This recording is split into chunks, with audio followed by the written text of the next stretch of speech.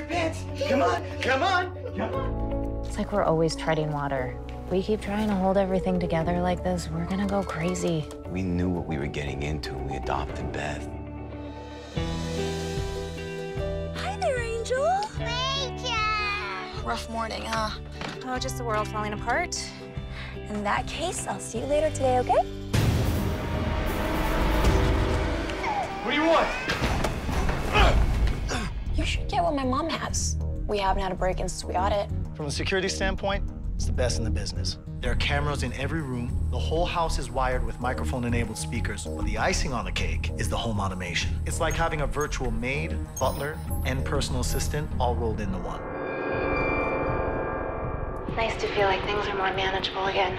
How do you feel about cutting back Rachel's hours? Once we get into our new groove, maybe we won't need her at all.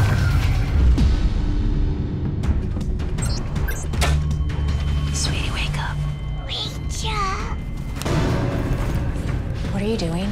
I'm taking her with me. Scott! Let go of her. Let go of her. Let's go, honey. Call the police. Get out of the way! Dan? I guess someone was able to break in. Why us? Because you don't deserve that! Never gave up, looking and looking for four years. I never wanted to give her up. Beth is your daughter. I'm her mother, too. And you know what I will do to protect that.